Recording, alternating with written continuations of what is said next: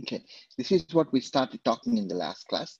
Very simple concept, very interesting idea, but very useful concept as well.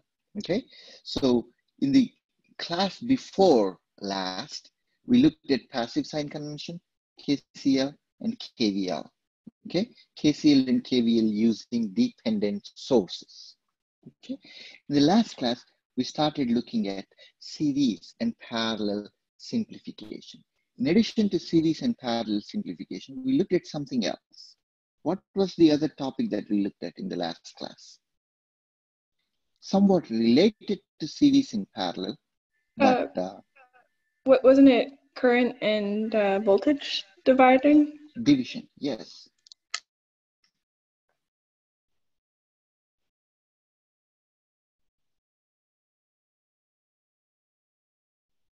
Okay, so we keep adding to this list. Okay, so if you want to, if you want to really um, do something that makes you feel good at the end of the course, this is what I'd say: make a list of all the techniques that we went over and all the techniques that you found um, that you can apply. Um, you know, in your in your tool set. That way, at the end of the course, it gives you a warm sense of satisfaction to know all the um, different techniques that you pick up in just a matter of six weeks. Some of these you're already familiar with, okay? Now, we looked at two kinds of connections, series and parallel. Series and parallel connections. Um, series connection is when the current is the same, the same current through each device that's highlighted in purple here.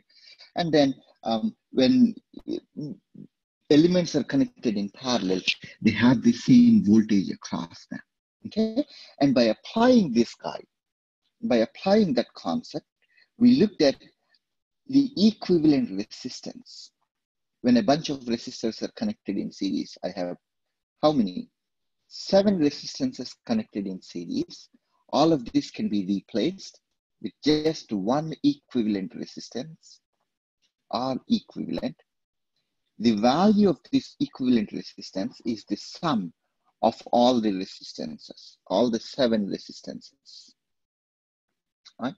That's what we discussed. This is in series. Okay. When in series, the logic that I apply to arrive at this equivalent resistance is that the current flowing through this loop is the same. There's only one current flowing through all the resistances. Then you apply KVL, then you get the result that shows the equivalent resistance. The equivalent resistance is the sum of all the individual resistances in series. Okay, that's the result we arrive at for series combination. Similarly, when it comes to parallel, and then, of course, before we went on to parallel, I showed you a quick sanity check. If you have a bunch of different resistances in series, okay, you have a set of resistors in series, the equivalent resistance is always larger than the largest resistance. That's a quick sanity check. Okay, good. So that's about series resistances. And then we went on to talking about resistors in parallel. Okay, resistances in parallel are characterized by the idea that the voltage applied or the voltage between each of those terminals, okay, each of those resistances, the voltage across R1 is the same as the voltage across R2, is exactly the same across voltage across R3, so on and so forth. Okay, the voltage is constant across all the resistances in parallel. And using that, we arrived. I did not show you the exact calculation, but I mentioned that the equivalent resistance, when you have a bunch of resistances in parallel, it follows the following rule. 1 over R equivalent is 1 over R1 plus 1 over R2 plus 1 over R3 if there are three resistances in parallel. Okay, that's something we discussed in the last class. Okay. and then we arrived at that solution by looking at the KCL, KCL at node A. Okay, KCL at node A. We applied, and then we found out that the different currents that are branching through R1, R2, and R3, they should add up to IS. Okay, these different currents, one, two, three, these three currents, and four. These four currents, when you add them up, they should equal the current coming from the voltage source. That's exactly the idea here. The current supplied by the source is equals to the, oops, let me do it this way. The current supplied by the source, which is this guy, okay, that's the IS over here, that should exactly equal all the current that is going through the different resistances. Okay, and by applying this KCL at node A, we arrived at the equivalent resistance. Okay, the equivalent resistance for uh, four resistances in parallel. When you connect four resistances in parallel. Okay.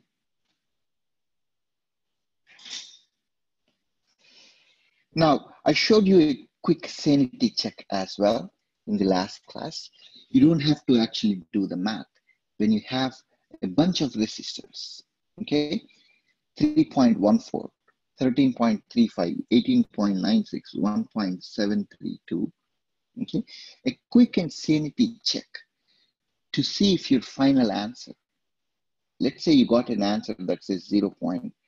Um, 998. Well, that could be correct because the equivalent resistance is smaller than the smallest resistance. The smallest resistance is 1.732. Okay, and the result that I got for parallel combination is 0.998. So it could be that uh, I'm on the right track here. Okay, but if in other, if, if in the other hand, you see an R equivalent equals to 1.897 ohms, then you know right away because this cannot be true. The equivalent resistance has to be greater than the smallest resistance. Okay, so the idea is that it's simply a sanity check that you can use. Okay. Now,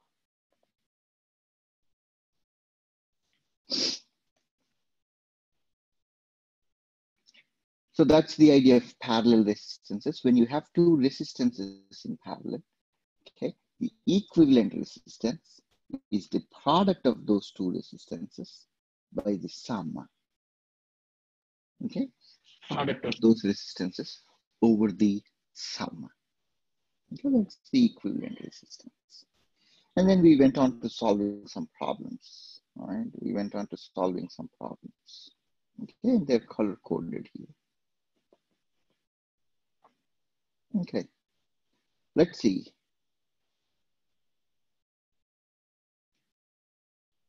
We solved one problem before we went on to voltage and current divider. Okay, so here is the deal. Let me go back to the syllabus really quickly. Okay, where is my syllabus? The syllabus says we are supposed to, let's say, we are supposed to cover chapter 3, voltage and current divider, voltage and current division in today's class. Okay, and we covered that fortunately in the last class itself. So I don't intend to go far beyond what we are scheduled to do. Okay, so tomorrow I'll come back and maybe I'll start chapter 5, 4 today. I don't know, or tomorrow, but uh, I don't want to wander way far um, away from our schedule. Okay, so I intend to spend some more time on voltage and current division. If we are done sooner than um, the class and time, we are done. You, you, you know, you're free to go. Especially the reason is for the exam. When you look at the exam, it's only chapters one, two, and three. So I don't want to start chapter four um, and spend a whole lot of, I will start chapter four before your exam, but I'll just give you an introduction. I don't want to spend a lot of time distracting you from um, chapters one, two, and three. Okay, so I'll introduce chapter four in today's class or the next class, but only likely. Okay. All right. So that's my um, that's my agenda for today. So we'll spend some more time on voltage and current division, and I'll give you another technique. Okay, using MATLAB when you have a bunch of different equations, when you have a system of simultaneous linear equations, how are you going to how are you going to solve them? Okay, that's the that's the tool I'm going to give you using MATLAB. Okay, so but let's see. Let's uh, talk about the idea of voltage division. Okay, voltage division happens in. Uh, let me erase all of this. Okay, voltage division happens in series. Okay, when you have two or more resistors in series, that's where your voltage division comes into play. Okay. Now, if you want to find the value of, uh, so the total voltage Vs that is supplied by the voltage source should equal the voltage that is dropped in R1 and the voltage that is dropped in R2. That's the basic idea of KVL, right?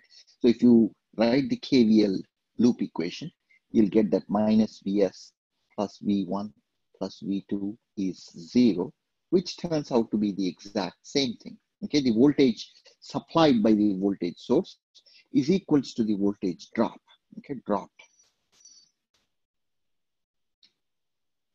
in resistors supplied by the voltage source. Okay, so it's a manifestation of KVL.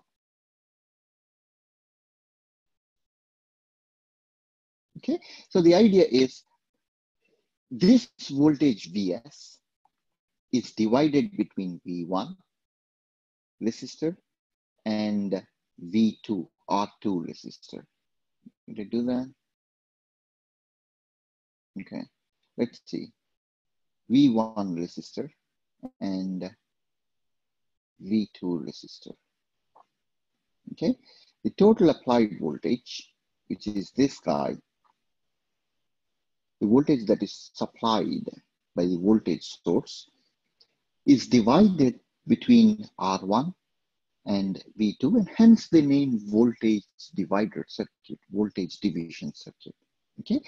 And then we, in the last class, I gave you an expression for the value of V1, okay? V1 is directly proportional to the value of resistance R1 over R1 plus R2 times Vs. Okay, V2 is R2 by R1 plus R2 times Vs. Okay. Is there a way to remember this um, idea? How many formulas can you remember? Is if there is, if only there is an intuitive way to remember this expression for voltage division, that would make my life easy, right? So I want you to take a minute look at these expressions for V1 and V2. So let me clean them up. Let me reduce the pigmentation here.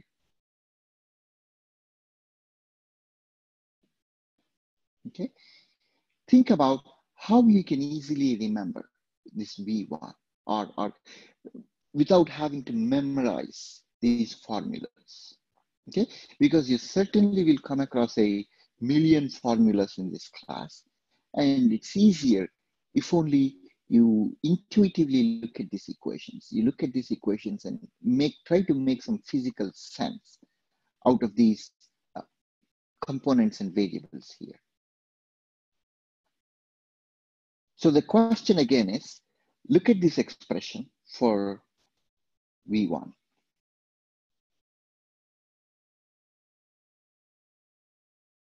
Can you explain this equation in terms of some known phenomenon? Do you mean like the summation notation? Can, can you say that again?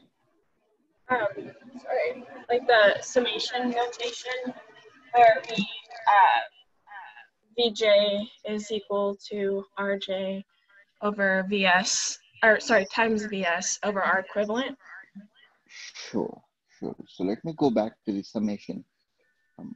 Vj equals to um, Rj over R equivalent, which is um, sum of, uh, let, us just say this is R equivalent times Vs, right? That's what you were saying. Yeah. Where R equivalent, R equivalent is the summation over all the resistances, okay, in parallel, in, in series. Sure, that is correct. That's one, um, that's one explanation for it. Can we, can we glean more insights? That's correct. That's a good beginning step. Can we glean more insights? Specifically, I want you to look at this. I'll give you a hint. See if you can think in terms of Ohm's law. Because that's something we know very well, right? Ohm's law, V is I times R. Okay, so if we can break this expression down and remember it in terms of the Ohm's law, then I would not have to really remember it. It's, it's um, naturally assimilated into my knowledge, knowledge, um, knowledge pool.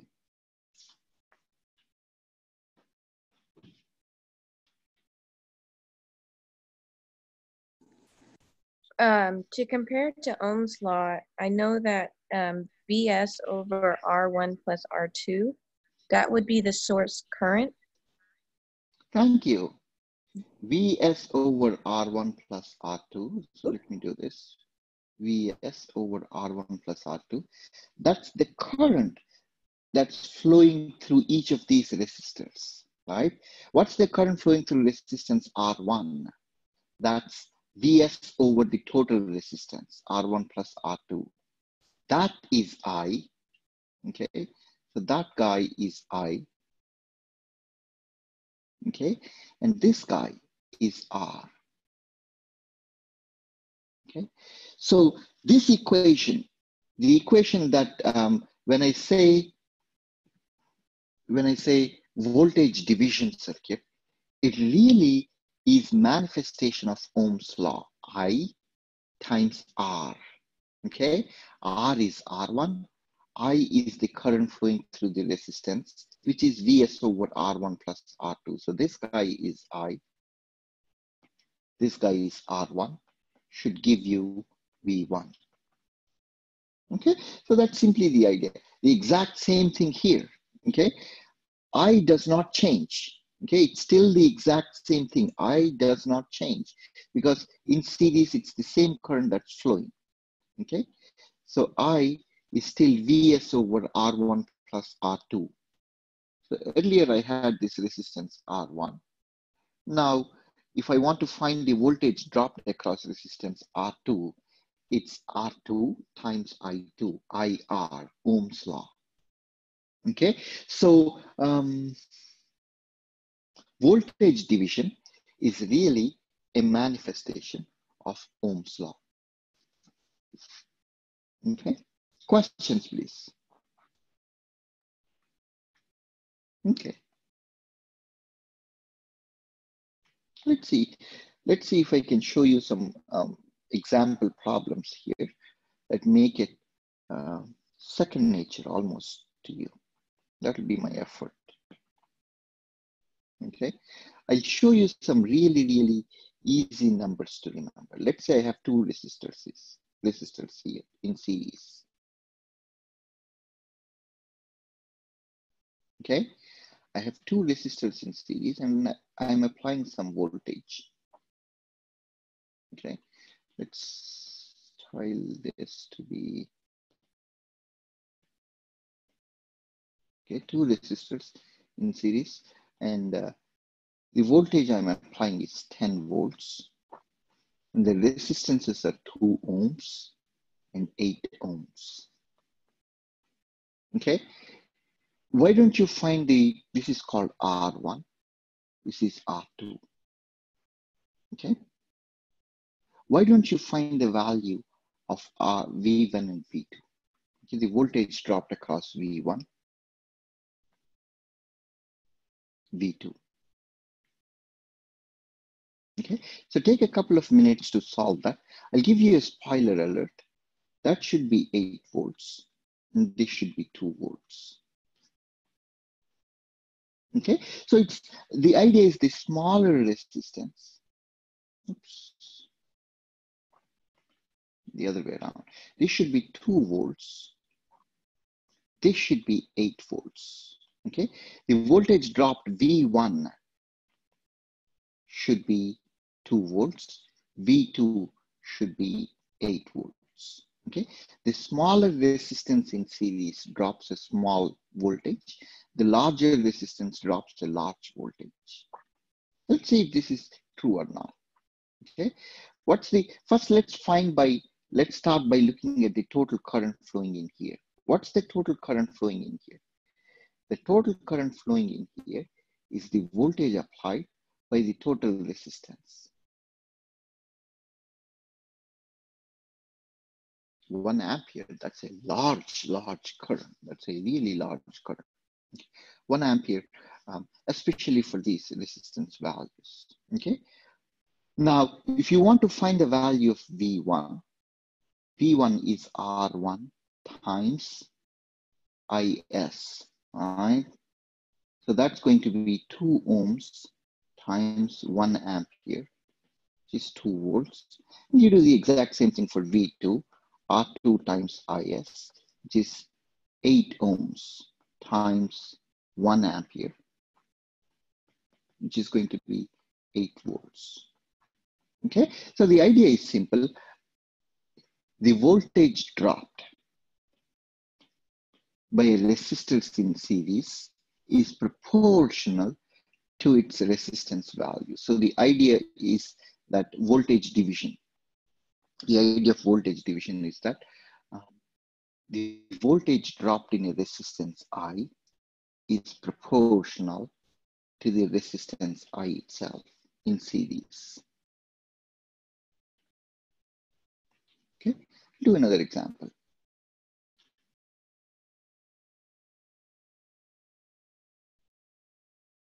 Okay, we look at these examples just so you don't have to, um, it becomes intuitive for you to um, look at relationships rather than uh, getting lost in numbers. I don't like calculating numbers, okay? Let's say, and that's the reason why I like to use these weird numbers, 9.7568 volts.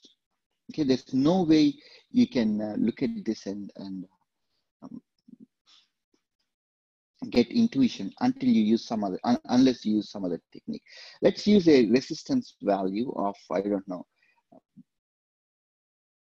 13.96532 ohms, a very arbitrary number, okay? And what I'm going to do is to use the exact same value resistance here as well, okay? For ease, I'm going to just use 9 point, uh, 9 point, uh, 9.2 volts. Let's say I'm applying a voltage of 9.2 volts and I ask you to calculate V1, V2. Okay. Now, what you have to do is you should not immediately whip out your calculator. Just look at these resistances, they're equal. When the resistances are equal, each resistance must be dropping or um, consuming equal voltage. So probably, and I'll not be right if I do this, V1 is 9 point, oops, 9.6 over 2, 9.2 over 6, sorry, 9.2 over 2, which is going to be 4.6 volts. 9.2 over 2, which is going to be 4.6 volts. So all I have done is half of 9.2. So let me write it this way. 9.2 is the total voltage applied. Half of that is dropping across V1 and half of that is dropping across R2. So this is R2, right? This is V2 and the voltage corresponding here is V1. Okay. So the idea being in voltage division, you can look at the relative values of the resistors and see um, and be able to make some predictions about about uh, the voltages that they drop. Okay, let's do one more problem.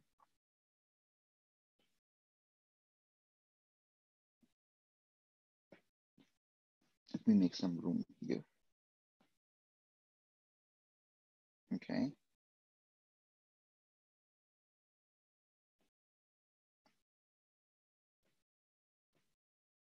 Okay, let's do one more problem here. Let's pick some numbers. I don't know, 25 and uh, 50.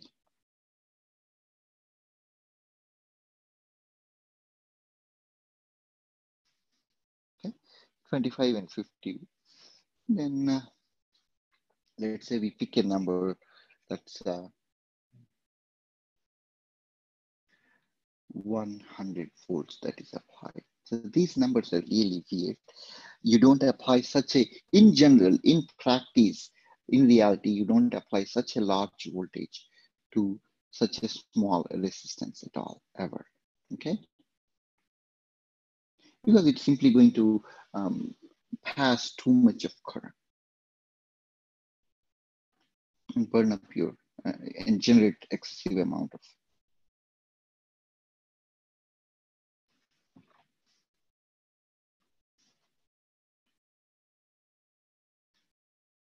Okay.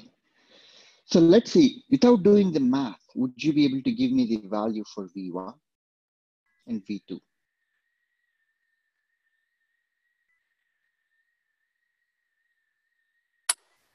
Twenty-five seventy-five.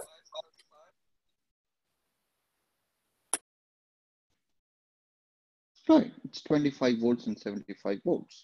So the idea is the voltage drop V1 is proportional to R1, this guy is proportional to R2.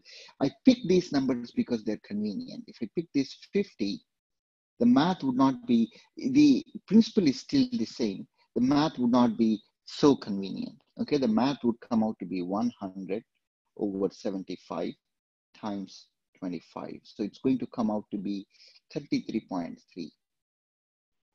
and 66.7. So one third, depending on, um, so the large voltage, 50 volts is going to drop 66.7%. And then this is going to drop 33%. So in some sense, that's the idea.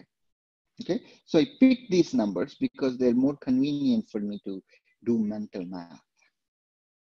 Okay, so that's the idea of voltage divider. Okay, you can apply the formula here, R1. So in order to find V1, you can apply the formula here, R1 by R1 plus R2 into Vs. And you'll arrive at this result, okay? So that's exactly what I have done, just that I have done them um, visually without putting that on paper. All right, um, let's move on to talking about current division. Okay, current division is also going to be very similar. Okay, so when we talked about um, in series, current is the same. So that's what we discussed so far. Voltage division, current is the same. The voltage is divided. Okay, the voltage is divided. The current is the same. Larger R drops larger V smaller r drops smaller v. That's the voltage division, and that happens in series. Right? So that's what we looked at. Let's see if we can look at current division. Okay, so we looked at these problems 100K, 25K, 100K, so on and so forth. Okay, so let's look at current division. Okay, earlier in voltage division or in series, the same current was flowing through all the resistors, but different voltage was dropped across different resistors. Okay, but that's different here. Okay, in current division, when you have resistances in parallel, the same voltage appears between all the resistors while the currents flowing through them are different. Okay, this is something we already looked at in the last class. Okay, so what you can do is in order to find I1, okay, when you have a, a bunch, a couple of resistors like this, okay, there is R1 flowing in, flowing south in the resistance R1, I2 flowing south in the resistance R2. Okay, and then you know IS is I1 plus I2 by applying KCL. Okay, by applying KCL at that node.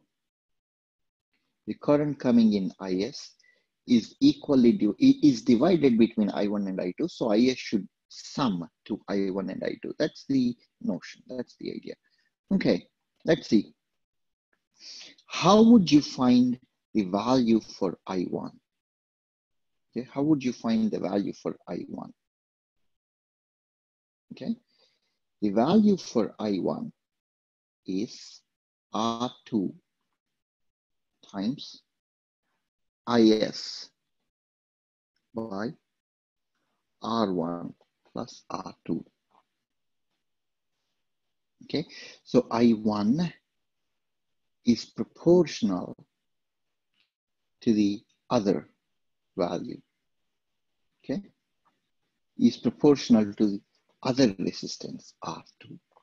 Okay, if you want to find out I2, okay, let's see if you want to find out I2, that will be R1 times IS by R1 plus R2, or I2 is proportional to R1. Okay. R2 is proportional to R1. So that's exactly what we have here. Let's see. So I1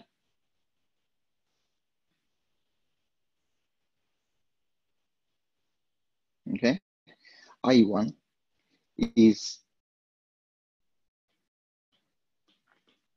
R2 over R1 plus R2 while on the other hand, I2 is R1 over R1 plus R2.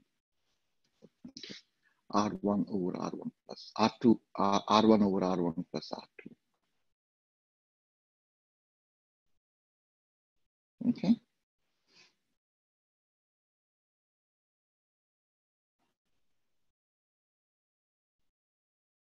Let's see.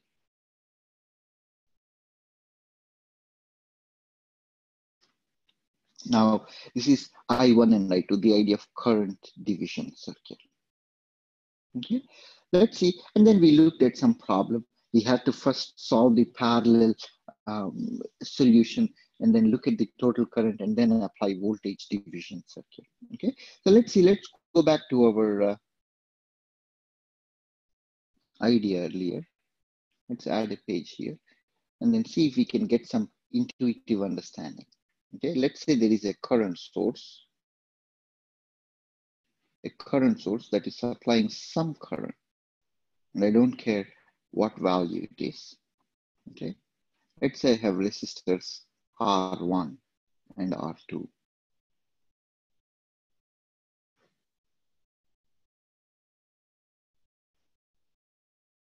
Okay, let's say I have a current that is supplying um, current source that is supplying IS, whose value is 10 amperes.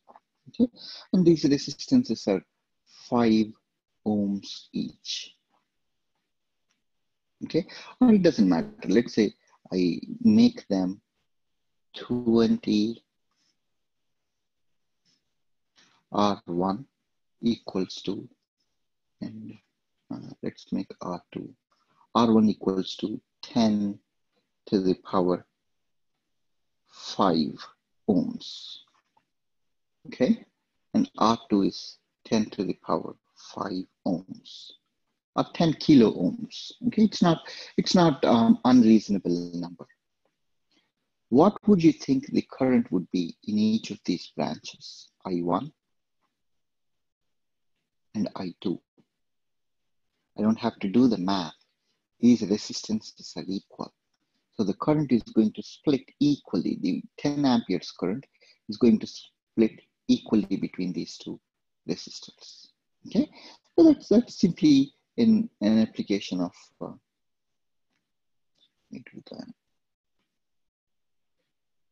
Ohm's law.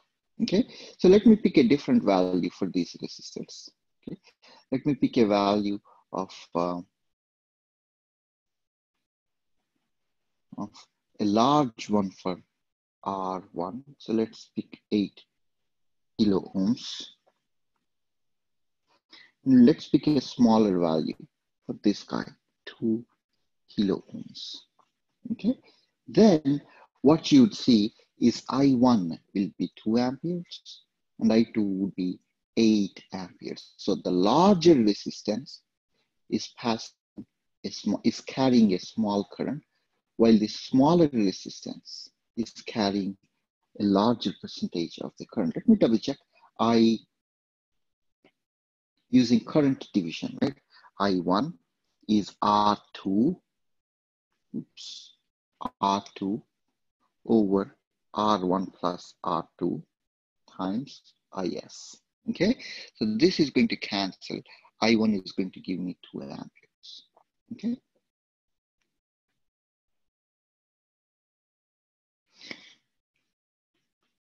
Now that, that that's you know we can extend this um, idea further and look at some weird numbers and then uh, numbers that uh, are not easy to calculate and still um, find a solution. Okay, the point being current division. In current division,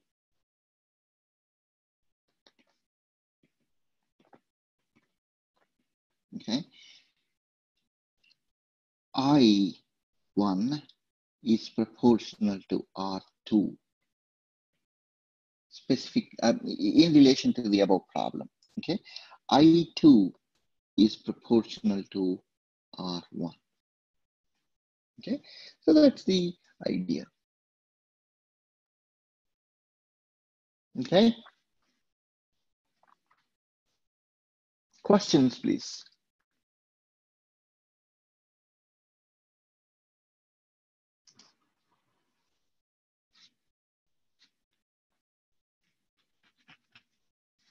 Okay. So that's the idea of current division and voltage division.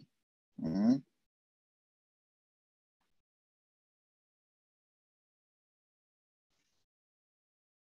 Now, simple concepts, but if you think of them and understand them in intuitive terms, it's going to be it's going to be hard to forget them. Okay, let's see if I can give you another tool. Okay. So far, we looked at a bunch of different tools.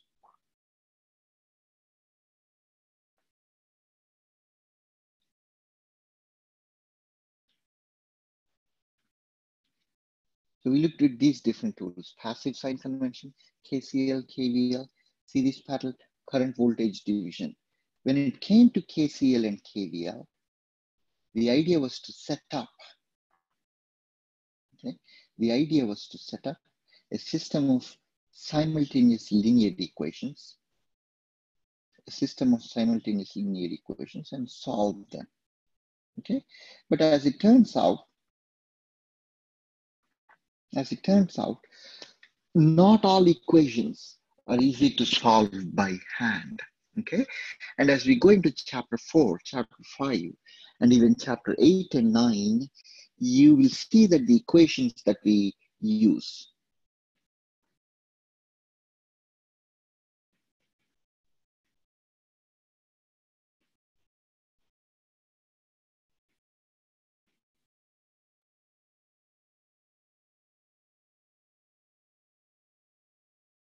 they're going to be they're going to be very very um, unwieldy.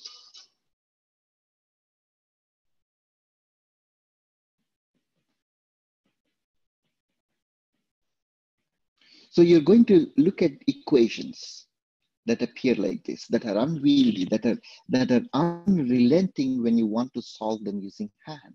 Okay, there are two unknowns, v1 and v2. So you have two equations.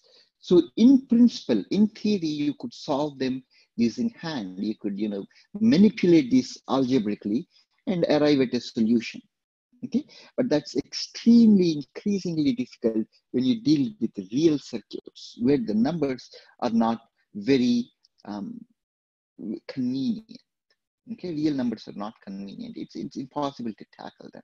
So we need to have a tool, a calculator tool, okay, that makes it easy for us. Okay, so the first thing we are going to look at, the first tool that we are going to look at is MATLAB. Okay, MATLAB can help you quite significantly increase the um, or uh, increase the speed at which you solve, automatically solve. Think of this as a calculator that you can program. Okay. it's very easy, extremely easy, and I'm going to show you the three lines of code. Calling it line of calling calling it MATLAB code is also uh, disrespecting code. Um, it's not really code. You just plug in three three lines of uh, MATLAB um, syntax, and then it'll spit out the solutions for you. Okay. The idea is that it's a very handy tool when you are trying to solve problems of simultaneous linear equations. Okay, we encounter this set of linear equations quite frequently when we were doing KCL, when we were doing KVL. Okay, let me go back. Since we have time, I can go back and repeat myself and you know spend as much time as it uh, takes to drive home the point. Okay, so if I, I'm looking for the generic process that I gave you when solving using KCL and KVL. Okay, maybe I can look for it on here.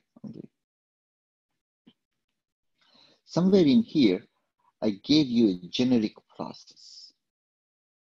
Right here, just one page about that, okay? I gave you the general approach for solving KCL and KVL, okay? Step one was to set up the directions for voltage and current. Step two was to identify the unknowns. Step three was to look at the number of nodes and set up KCL equations. Okay, apply KCL and set up equations. That's that's um, that's what we are interested in um, doing. Okay, step four also involves setting up KVL equations. So the point being, when you're looking at um, the KCL and KVL, you are setting uh, up a bunch of different equations, and then you have to solve those equations. If there are five unknowns, you need five equations. If there are three unknowns, you need three equations. Okay, so often you'll find yourself having to solve a system of linear equations with two, three unknowns, three equations simultaneously. And that's where your MATLAB comes in handy. Okay, let's see. So the solution to that set of linear equations is the independent variables that we are seeking and MATLAB is a very useful tool that can speed up this process. Okay, let me quickly show you Fortunately, it's installed for you on Hydra. You don't have to install MATLAB on your laptop if you don't want to. But MATLAB is a very um, handy tool. It's a very convenient tool. And I strongly suggest that you try to download um, the student version of MATLAB that is available from Saxley. Okay, our university provides a license to MATLAB that you can download on your system. So I encourage you to do that. If not, if you don't want to go through the hassle of um, installing MATLAB on your laptop, which is really worth it, um, I would say you can even access that on Hydra. It's a server on which uh, MATLAB is already installed for you. Okay, all you have to do is to um, follow these steps. Open remote desktop connection, enter hydra.ecs.edu, include your ECS credentials. So follow these steps. Okay, follow these steps, and then um, and then once you log into the remote desktop, okay, on Hydra server, you can pull up this MATLAB software. You can open that MATLAB software, okay, and start running this MATLAB for solving your equations. Okay, so here is Hydra. This is a screenshot of how it appears, the desktop appears for Hydra. And then um, that's where you'll find MATLAB. You know, you'll, you'll find that MATLAB probably was updated um, to the recent version after this slide has been created. Okay, and it'll still be there for you, uh, updated and fresh. Okay, once you pull up MATLAB, there's a bunch of different panes. It's a complicated, complex tool that can um, solve a whole lot of different problems for you. And so all of this functionality is going to um, make it a bit cluttered and a bit intimidating if you don't follow step-by-step process, but don't worry too much about it. We'll start with the simple, simple pane here and then um, include, I'll provide you the code as well, okay? I'll provide you the simple MATLAB, three lines of code that you can use, okay? okay. I'll provide you the simple MATLAB, three lines of code, okay? It's this guy.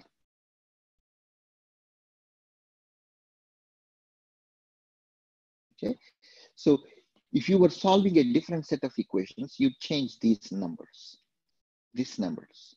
But the rest is all going to be the same. The only thing that you need to change is this guy. Change that. Change this. But really, the rest is going to be same. Let me show you how that is done. Okay. Let's see. So once you pull up MATLAB, it can help you solve a system of linear equations. Let's say I have an equation, linear equation that appears like this. Okay, 29v1 minus v2 equals to 2880. Negative v1 plus 17v2 equals 240. Okay, you can choose to solve this by algebraic manipulation um, without using MATLAB if you use MATLAB, it really is a very, very simple um, problem to solve. All you're doing is you're separating out the unknown variables. Okay, let's say the variables V1 and V2, right? These are the unknown variables that you are expressing as a matrix, unknown variable matrix. Similarly, the coefficients coefficients that correspond to these variables. We're expressing that as a coefficient matrix.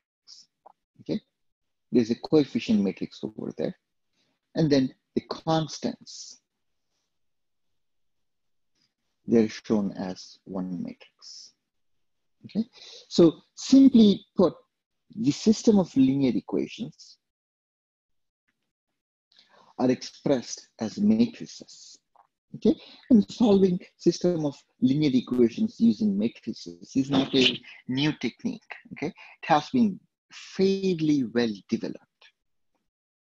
Okay, and there's a rich set of theory and and techniques surrounding it.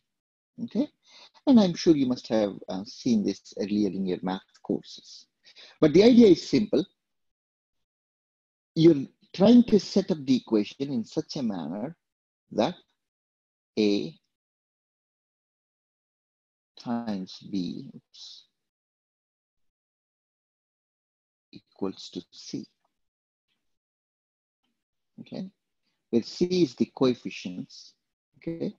A, uh, C is the constants, I'm sorry, C is the constants, A is the coefficients, see they're color coded. A is the coefficients, B is the unknown variables, and C is the constant values that you have. Okay, once you have this, you should be able to calculate. So you know all the all the elements of the matrix A, you know all the elements of matrix C, you don't know any element of the matrix B. So it comes down to um, manipulating this guy. If you want to find out B, all you have to do is calculate inverse of A and multiply that by C. Okay. Unfortunately, uh, MATLAB can very, very easily do that for you, calculating of calculation of inverse, okay, and multiplication on uh, matrices, okay. MATLAB is a very efficient tool to do these matrix multiplications, okay. So when you want to solve a system of linear equations, all you have to do is to simply apply. So there is 29, negative 1 corresponding to the first row, negative 1, 17 corresponding to the second row of the coefficient matrix A. So this guy is B, this guy is C, okay, and this guy is A. Okay, there are two rows in A. They are shown using the two rows in here. Okay, so that's all there is to it. If you want to write the equation for a different set of eh, set up the equation, set up the solution for a different set of equation, you simply have to change the values here. Okay, you don't even have to touch this guy. You just have to change the values in the matrices, and then MATLAB is going to spit out the values for B. Okay. So that's all there is to that, using MATLAB to solve system of linear equations. Okay.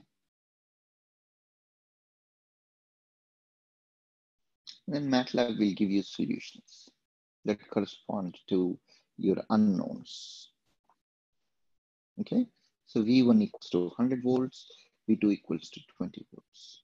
Okay, and I tell you what, I strongly encourage you to look at this MATLAB solution right away and see if you can repeat some of the example problems or solve um, some equations of your own. Okay, because come time for the second exam, okay, the equations are going to be much more complicated than we have seen, and you'll find yourself dearly wishing that you practiced on MATLAB before, just so um, you are allowed to use the MATLAB on exam, right? So why not why not get some practice on it for exam two? Okay. All right. So when we come back you know, at a later time, I'm going to show you how MATLAB can even solve. Okay, MATLAB can even solve complex number equations, equations that involve complex or imaginary numbers. Okay, this 10 plus j1, 3 plus j1, these are imaginary numbers or complex numbers that we will look at in chapters eight, 9. Okay, in chapter in further um, chapters. Okay, in this course. So the general process is still going to be the same. You'll still apply, you'll still um, divide the equation into your coefficients into your unknowns and then into your constants. The general process is still the same, okay? Just that the coefficient matrix, that's the only thing that's different. Instead of having purely real coefficients, the equations have complex number coefficients. Nothing else changed, okay? We'll come back to look at this later on. Okay, so even then, even in that case, see the equation didn't change, the solution didn't change, the code didn't change. All that changed was that uh, the matrix values have to be replaced. Okay, everything else is exactly the same. Questions? Um, I have a Questions? question. Yes. Uh, what we're looking at right now, where Okay. can we access that online? Good question. Let's see. Give me a second for, uh, yeah, it's uploaded now. It's uploaded to Google Drive. Oh, okay. Okay, you, you, you do know the link to the Google Drive that um, has all the class annotations, correct? Yes, I think you showed us that. It's on Moodle at the very top page. Yes, ma'am. That's exactly where you'll find this guy. Other questions, please. Okay. All right, let's see. We'll stop here. I don't want to overextend myself for today. Um, we can look at chapter four, which includes nodal analysis, um, node voltage method and mesh current method. But I would say um, get some practice on chapters one, two, and three. Okay, and then tomorrow I'll introduce um, introduce chapter four. Okay, so um, let's see, did I cover everything that I wanted to cover in this?